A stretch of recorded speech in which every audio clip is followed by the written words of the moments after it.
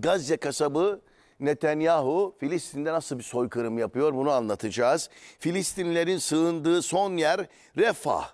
İsrail tarafından saatlerdir saldırı altında.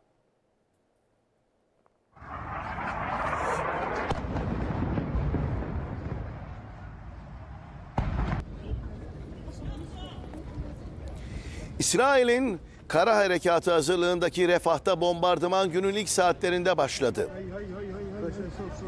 İsrail jetleri birçok noktayı hedef aldı. Binalardan alev bulutları yükseldiği görüldü.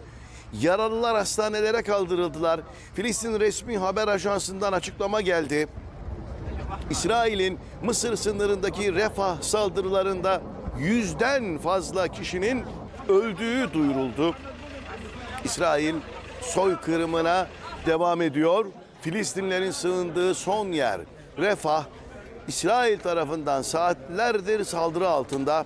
Hava saldırılarında can kaybı yüzün üzerinde.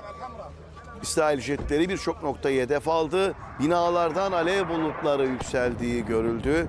İsrail'in yaptığı bu korkunç soykırımda Filistin resmi haber ajansı açıklama yaptı. Refah saldırılarında yüzden fazla kişinin öldürüldüğü duyuruldu.